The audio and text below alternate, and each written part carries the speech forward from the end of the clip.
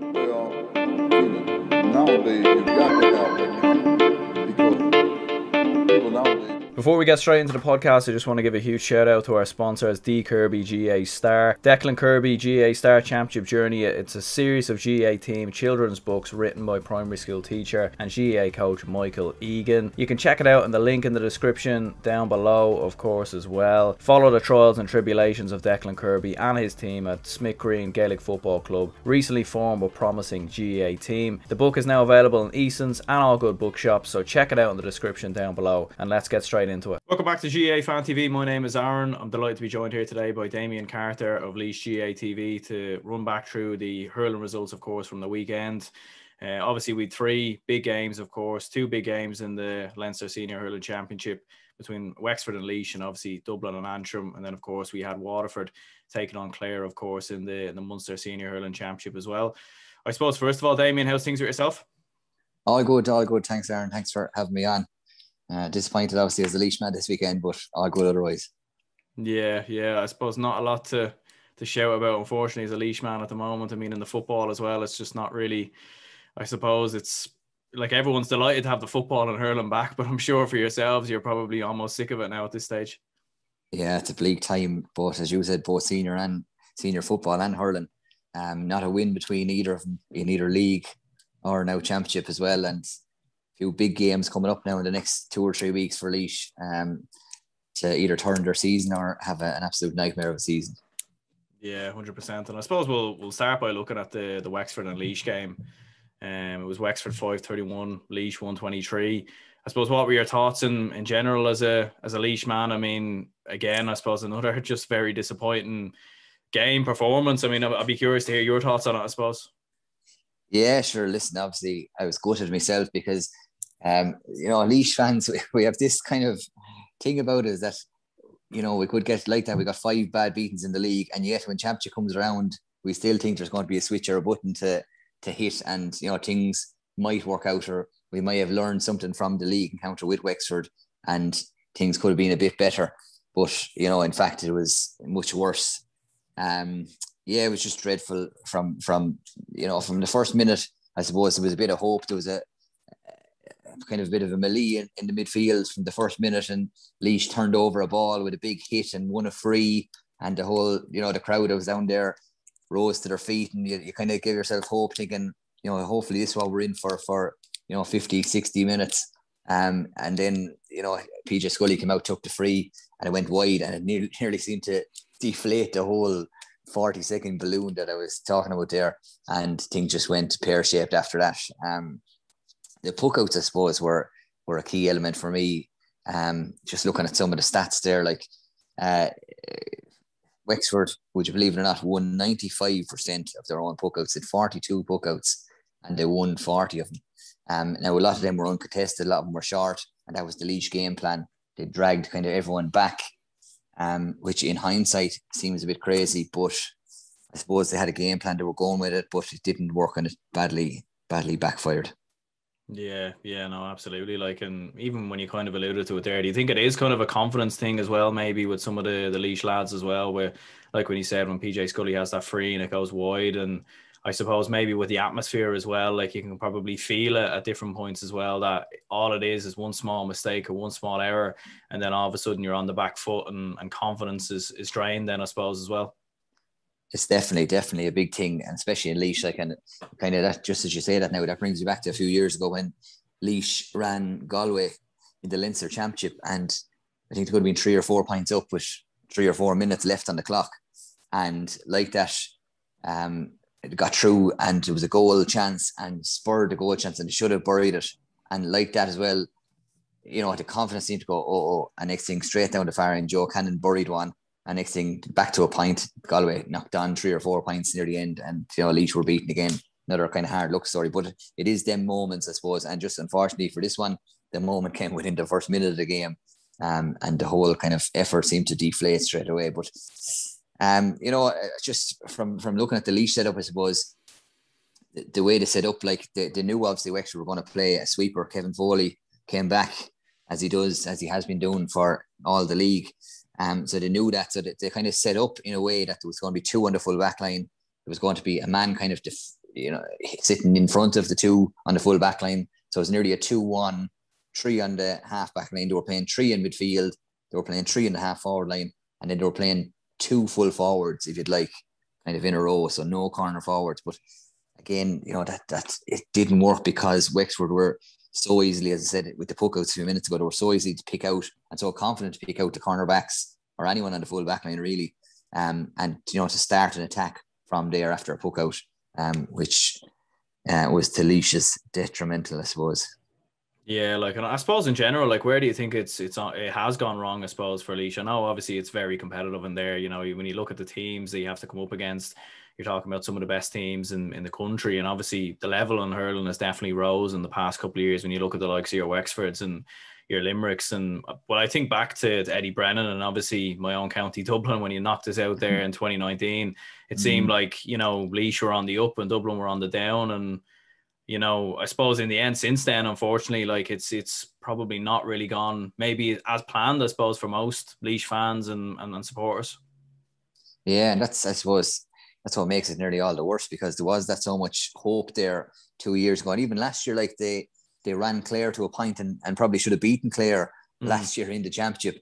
Um, and Clare went on actually after that game to annihilate Wexford the next round, you know. So even even from last year, you know, has seemed to gone backwards, um, which is unfortunate because they've they've got a few key players back even from last year. Cha Dwyer wasn't playing last year. PJ Scully wasn't playing last year. Ian Lyons wasn't playing last year. You know, there are three big players for Laois to, to come in and to kick on. And like I suppose the whole county was hoping that they would kick on, but just for whatever reason, it's hard to pinpoint it.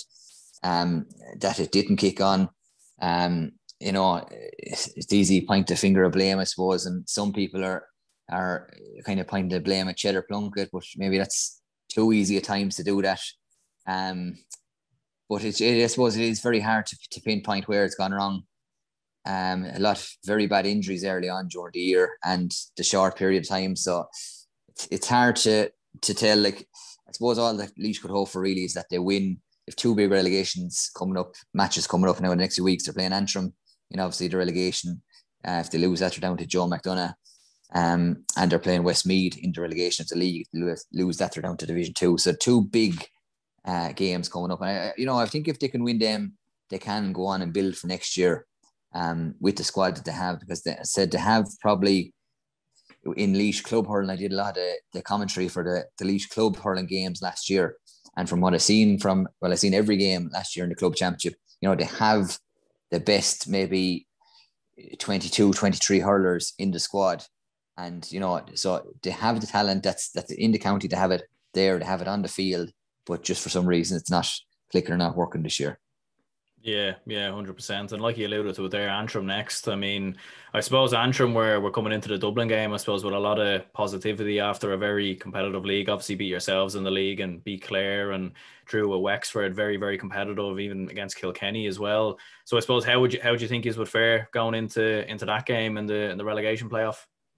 Yeah, like I'm very worried about that game. Um, like that, that for me actually, and I know you're not going to like this, but that for me was the biggest shock of the weekend, and not yeah. the fact that Dublin, not the fact that Dublin won it, but that they won it so comprehensively. Because I was expecting a dogfight in that. I thought it might come down to a point or two, and I thought actually Antrim could have, you know, snuck it, but Dublin really turned on the the burners, and you know, off they went. In fair play to them.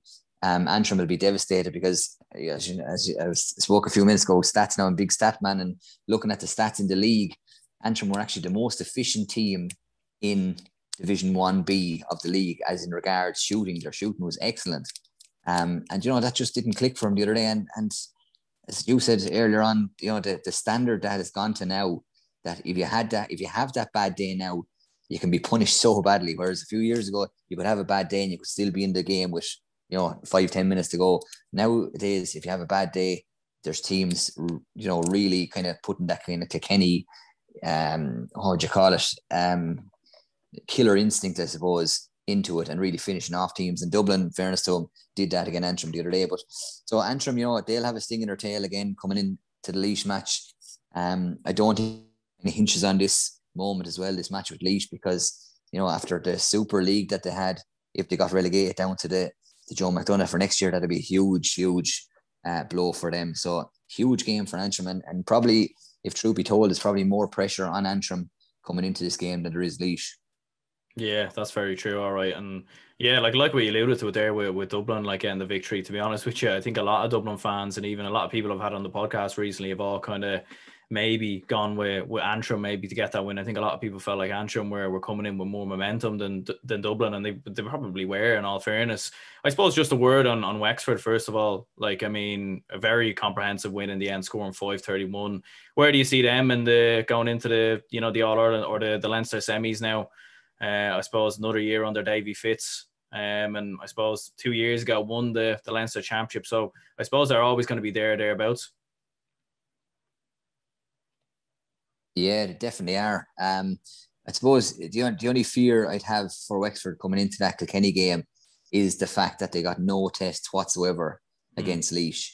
Um, and it's it's it's very very easy from from playing a few like a few years ago myself and from seeing games over the years, it's nearly the worst thing you can hope for coming into a big game is an easy defeat beforehand because you get stuck in them kind of lazy tactics, lazy kind of you know oh, I don't have to run for this ball or I don't need to win this ball or and you know that that mindset can say now David will be trying his best to change that mindset over the next uh, week. Um, but as I said, it is very hard to get out of that mindset from having it so comfortable and for having so much time on the ball to literally being hunted down like dogs against Kilkenny, which is what they're going to be like, you know. So it's going to go from having maybe five, ten seconds on a ball to having 0.7 seconds on a ball, you know, to make that decision. So their decision making is going to have to be up to scratch. Now, you know, I, I can't see them beating Kilkenny to the show. I still think Kilkenny are a force to be reckoned with. But I, I do see Wexford going into the qualifiers and having a serious run in the qualifiers after that. But you know, um, Davy, I suppose you said it's his fifth year now. He'll he'll want to start making ground. If he doesn't, there'll be probably movement in Wex within Wexford um next year. But yeah, but uh, that's the only fear I suppose I would have from. I'd like to see him given a good game, but the only fear would be that they would come into it a bit too casual.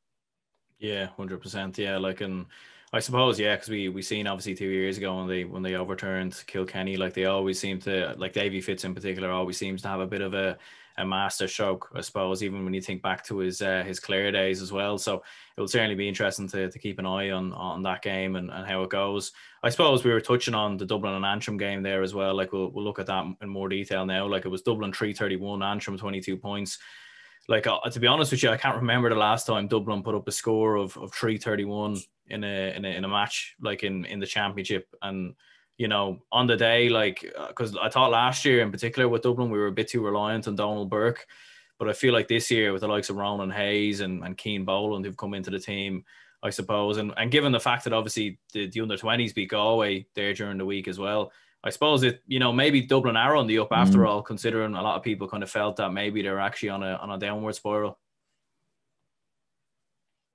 Yeah, very true. And going back to that game that you mentioned back in 2019 when Laois knocked them out, you know, maybe that was kind of the, the kick in the arse, maybe that Dublin hurling needed, you know, because they do mm. seem to have, since that, they do seem to have turned it around.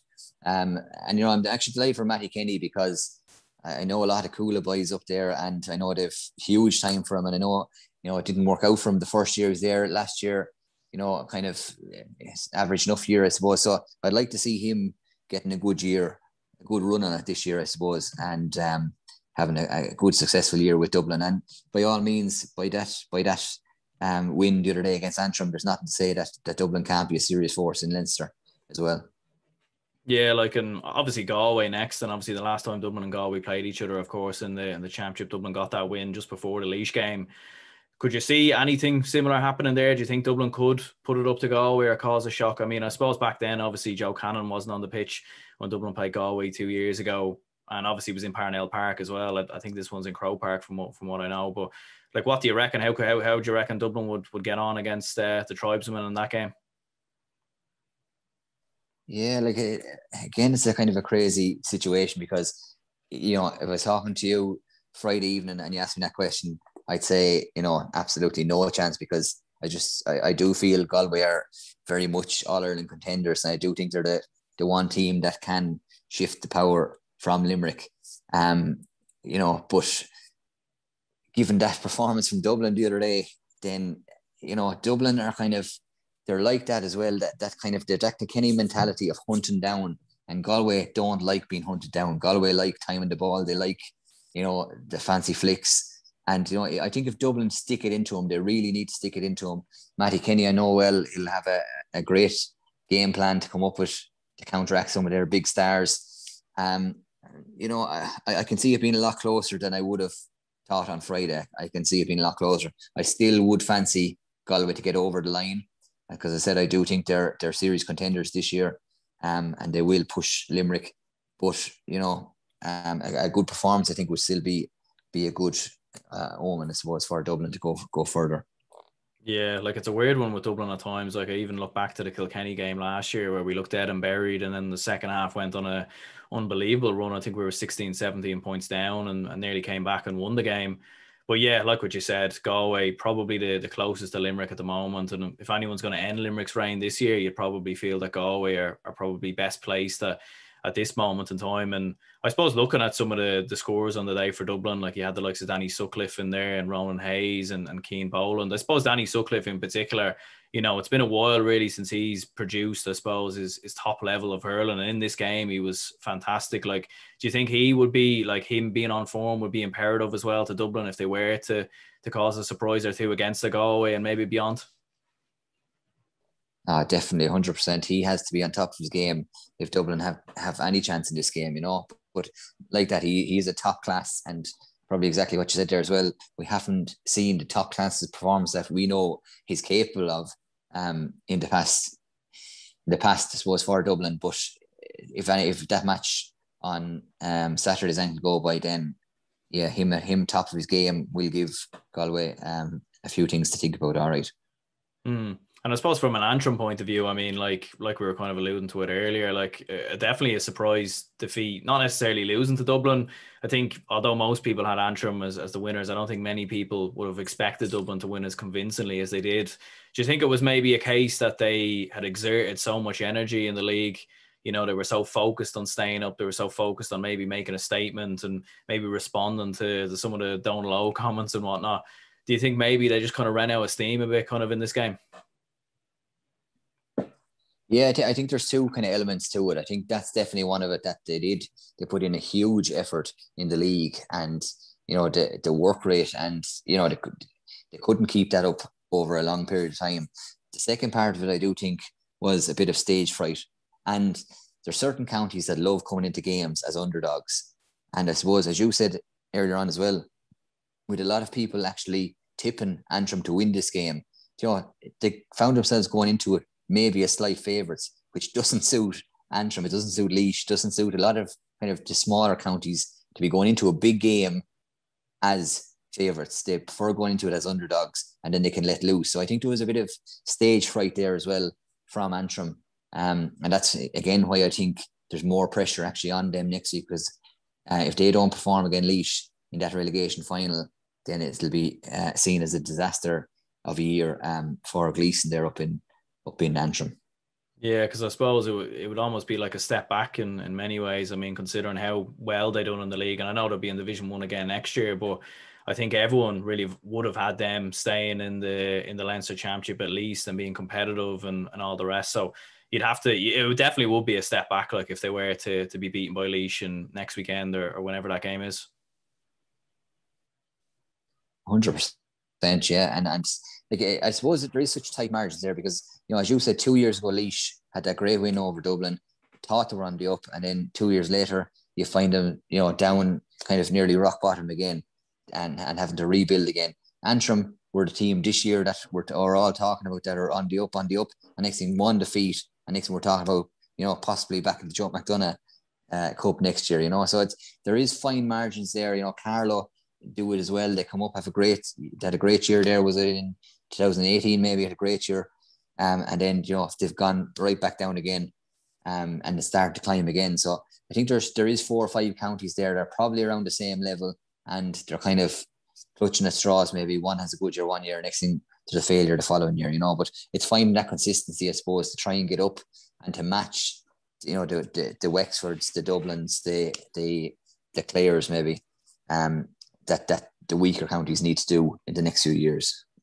Yeah, and I think nearly maybe another thing as well is uh, I think maybe one of the reasons why probably a lot of people had Antrim as favourites is probably maybe the need for a lot of the of, of those weaker counties, like you said before, to be competitive and to get up there. Because I think even in football as well, I think you know you, you kind of get bored when you see the same. I know it's it might sound a bit funny coming from a Dublin fan, but you get a bit you get a bit bored when you see the same old teams year on year you know, winning the same provincial titles, winning the same, you know, the same games, the same matches. And I think that's why in the past, you know, five to 10 years when we've seen Wexford come up, we've seen Limerick kind of on the rise, Clare won an All Ireland there in 2013. I feel like there, there is a need there to kind of try and get those weaker counties, maybe not maybe to the same level, but at least competitive where they can cause a shock against a Clare or a Waterford and, and whatnot.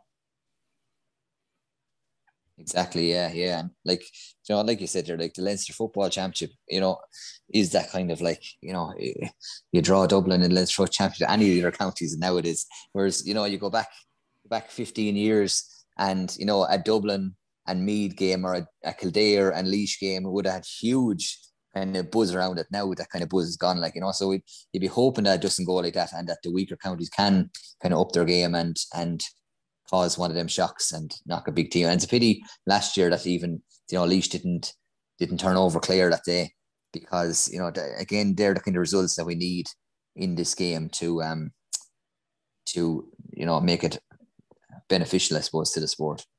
Mm. I suppose moving on from that, obviously in uh, in Munster, you'd Clare up against Waterford. Clare winning 122 to, to 21 points, a four point victory in the end. I suppose it was a, an interesting game because in the first half, you really felt that Clare could have won this convincingly. They could have put out a real statement. They probably, you know, the amount of wides they had in the game was was was I think they 22 or 23 wides or something like that in total. Um, I mean, they probably should have won it quite comfortably in the end, but I suppose in the end they'll be happy to to get this victory and I suppose on to, to Tipperary next. Yeah, they'll they'll be absolutely thrilled because I think even a lot of newspapers over the weekend and even before the weekend were all tipping Waterford and we're kind of, you know, eh, I, I, read a few reports there and they weren't giving Clare much chance at all. So I suppose Brian Lohan had that a few of them pinned up in his his locker room before the game. Um, I was surprised how comfortable Clare were and how I suppose um, quiet Waterford. I was really expecting expecting a lot from Waterford this year, and especially after their league campaign and the inside forward line, I thought during the league was unbelievable. Like the goals that were getting, the movement from them, and you know, I just again didn't see that whatsoever against Clare. Um, very disappointed with with their with their performance. Um, and then you know, I was looking at, again at puckouts and stuff like that, and like Clare had had 34 puckouts, won 76% of their own puckouts, and Waterford had 44 puckouts um, and won sorry, 30 out of the 44, so 68%. So that possession from the puck out seemed to have a big effect for Clare because they were able to, again, uncontested, kind of bring it on and and work a score fairly easily. And as you said, if they had their their shooting boots on or shooting radars, I suppose, in the first half, they could have been home and dry by half time. Um, good friend there, Derek McGrath now, and I was texting him half time there I was saying you're in big trouble here.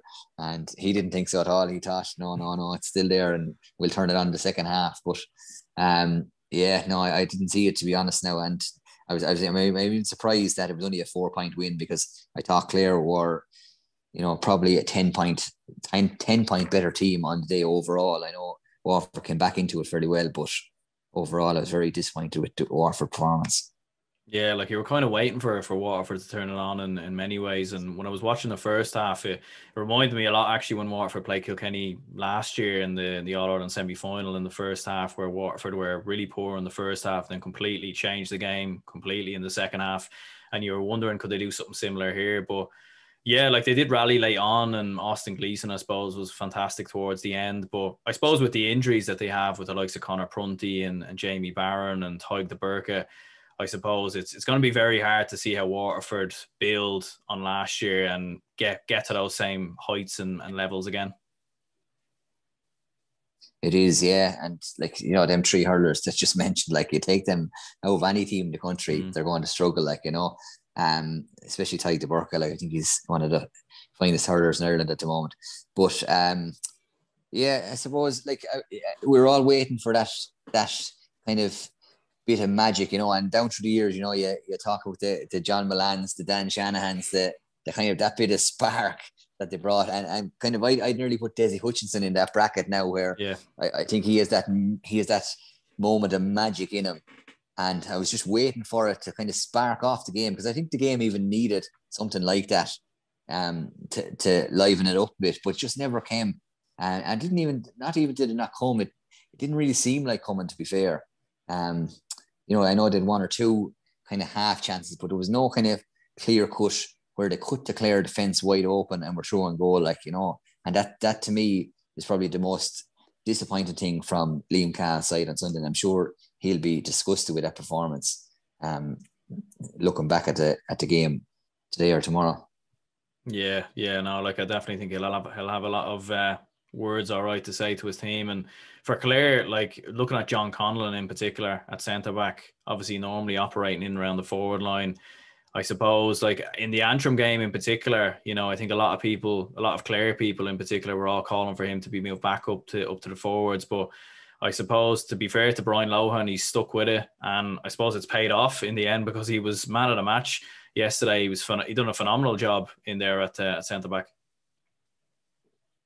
Ah, yeah. In fairness, Brian Lohan definitely reaped the rewards of being consistent because I was one of the ones that was saying ridiculous move and you know moving back up the field and you know he's wasted there at centre back and then just to see the performance he put in at centre back mm. the other mm. day was unbelievable you know and you go back to again to Clare legends you know you talk about Seanie McMahon back there from years ago you know it was that kind of performance from um from the Clare man I think that you know that that stood out but yeah Conlon was superb and and you know maybe he made us eat a bit of of uh, humble pie there with with the performance yeah, absolutely. It was something else altogether. Like it really, really was. And like looking at Clare in particular after that victory going on now to Tipperary, I suppose like even I was saying on, on, a different podcast, I feel like even the Tony Kelly injury through the league might have helped them because we've seen Aid McCarthy step up and Mark Rogers come into the team and Aaron Shanagher always always looks like a threat as well.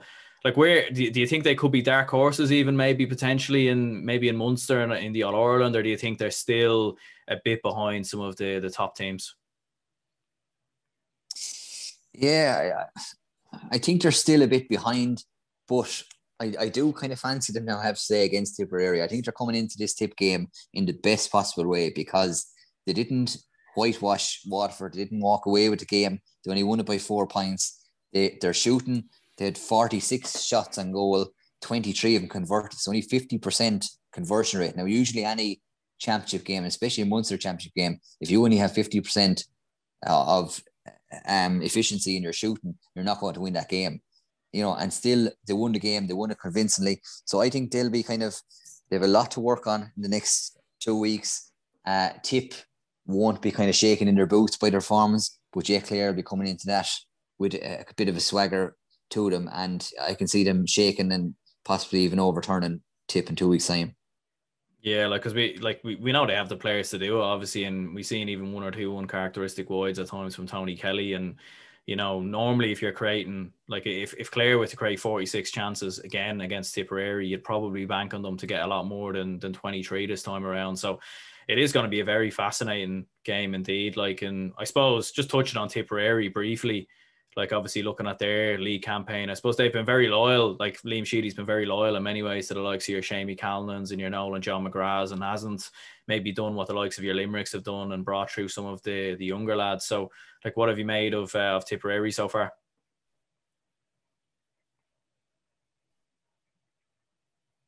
Yeah, and I think that loyalty might actually come back um, to bite Sheedy a bit because you know, you you alluded to there a few there a few minutes ago about Clare being able to kind of bring in these these lads and test them out. Tip haven't really done that, you know. And I think when the chips are down and they're they're struggling or they're the pin they're at the pin of the collar, that they won't know where to turn. He won't know, you know, who can change his game for me. And and that's why I actually I do fancy Clare to possibly turn him over. But as we said earlier on, I think they're still a bit behind the likes of Limerick Galway's um, so I, I, don't think they'll be pushing for Munster championships this year, but I can see them in the Munster final possibly. Mm. Hundred percent, yeah. Like, and I suppose moving on to the Joe McDonagh Cup, we'll touch on some of the results there briefly. Obviously, Kerry beat uh, down two twenty four to one twenty one, and Carlow got past uh, Kildare two twenty two to three sixteen. I suppose for Kerry, like I think most people would probably have them as as maybe favourites with the fact that obviously you don't have Offaly in there, considering how good of a, a league campaign the Offaly had, and they play Meath, of course, next in the in the group stages. So you'd have to fancy them to come through that and at, at the bare minimum make the final now at this stage. Yeah, definitely so. Like I, I am uh, I'd be very surprised if it wasn't a Kerry Carlow final this year. And that's no respect to the other teams, but I just think they are that bit that bit further ahead. Um, and I think that that will actually be a great game, that Kerry Carlow game in the final, if, if it is, if it does work out that way. Um, because I think they're very evenly matched. Um, Carlow's seems to be going well this year. They're putting up big scores, um, which you know, again, not kind of a thing you'd associate with Carlow. Usually, kind of a team that would nearly drag you down to their level, and you know, it might be a 17 points to 18 point game, but they're putting up big scores this year. They're they're rattling in the goals as well, which is good to see. Um, and you know, I, yeah, I hope we're on back in a few weeks talking about this game because I do think it'll be an exciting Joe McDonagh Cup final, um, where you don't have, as you said, an Offaly or kind of a a team that would think they're bigger than than the competition in it, and it should be a great final in a few weeks. Yeah, like, and I suppose for Kildare, obviously, who, who got beat by Carlow, I mean, they've definitely made massive strides, obviously, this year, you know, coming up from Division 2B and then, you know, running Carlow quite close. Like, in many ways, they'll be very happy with their performance and they'll be happy that they came so close but you would feel that this, they, they'd also probably look at this as a bit of a missed opportunity because if they come through this game, a massive chance to potentially go to a Joe McDonagh Cup final, and then I suppose from there you would have never known. But I suppose a bit of a, a bit of a missed opportunity in many ways for Kildare. Yeah, missed opportunity, but still, I'd, I'd say they're they're quietly happy there. I'd say they're building down there. I know that the Kildare minor hurlers this year are meant to be extremely good. They've nine uh, nine lads from Naas on the team, I think, as far as I know, and that team that would have won the Féile under 14B a few years ago. So, you know, they're they're quite confident of getting a good Leinster minor hurling run this year as well. So they're playing Carlow actually the first round as well on Wednesday night um, in Carlow. So, you know, a lot, a lot of people would say if, if they can turn over Carlow there, that'd be a shock. I, I don't think it will be a shock. I, th- I think I think they will turn over Carlow. Um, and they'll have a crack then at Laois in a few weeks' time. But like that, it's a good place for Kildare. They're getting the numbers behind it. They're starting to to pump the money into the hurling side of things, which was never done before, and they're starting to reap the rewards of that too. Yeah, hundred percent. Like, and I think like what we were alluding to earlier, like I think we all want to see new teams coming up and new teams challenging, and even seeing the likes of your your Offaly's coming up, and even you know Laois's in, in recent years as well. And um, well, yeah, look, listen, I suppose we'll wrap this up here anyway, Damien. Uh, appreciate you jumping on. Appreciate your time. It's good to, to look back on the on the hurling action. No water. Thanks for being there. Thanks for having me on.